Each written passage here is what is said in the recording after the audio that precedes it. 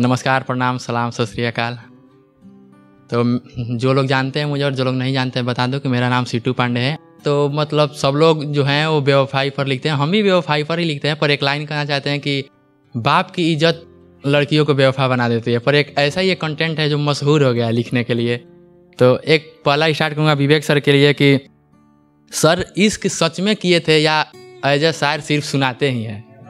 कि सर इश्क सच में किए थे या ए शायर सुनाते ही हैं? अगर किए थे तो जितना बताते हैं, उतना ही और कुछ छुपाते भी हैं।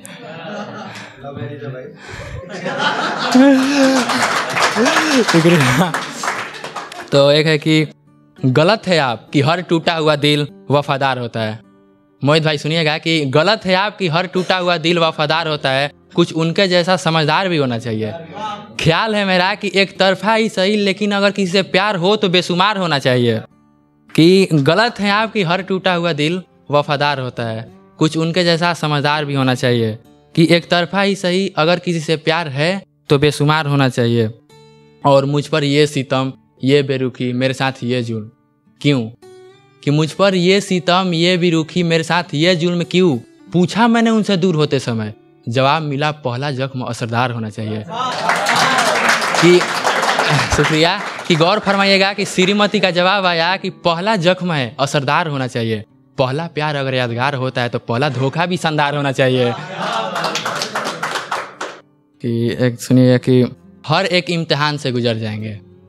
कि ज़िंदगी में सिर्फ़ इम्तिहान ही इम्तिहान है, कि हर एक इम्तिहान से गुजर जाएँगे।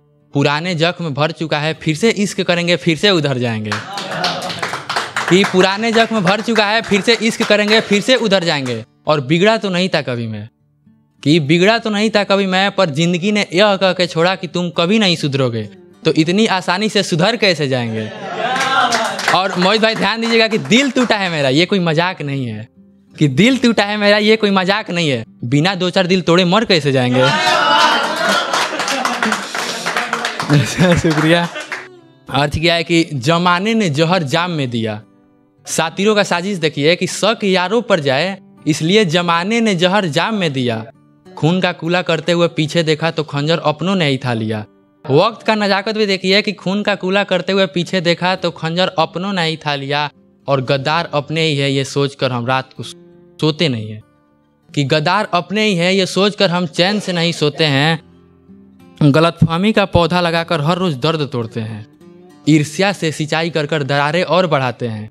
गद्दार अपने ही है, ये सोचकर हम चैन से नहीं सोते हैं, और वो तो हिफाजत करने के लिए खंजर उठाए थे।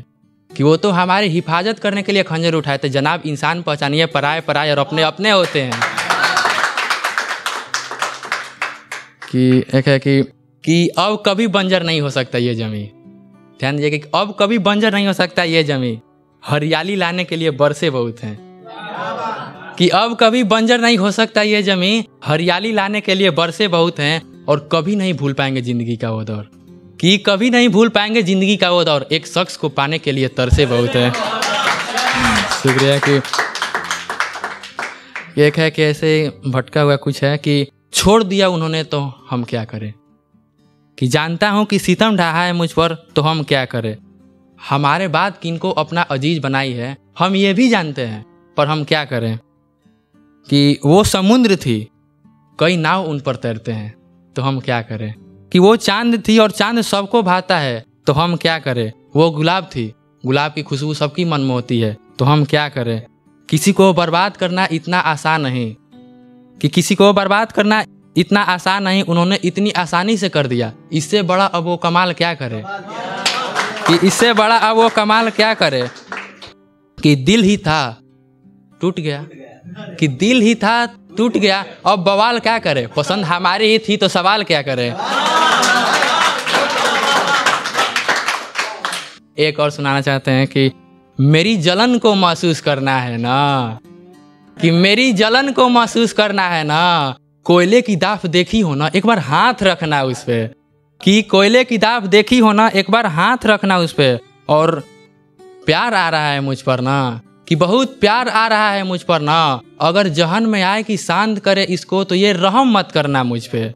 कि ये रहम मत करना मुझ पे। और जो पूरी तरह से ईमानदार हो, ध्यान दीजिएगा कि जो पूरी तरह से ईमानदार हो, जो कभी नहीं बदलता।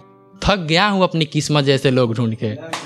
कि थक गया हूँ अपनी किस्मत जैसे लोग ढूंढ के। और तुम भी इंसान ही हो ना। कि तुम भी इंसान ही हो ना। तुम नहीं बदलोगी, इतना घमंड क्यों करती हो खुद पे? बहुत शुक्रिया।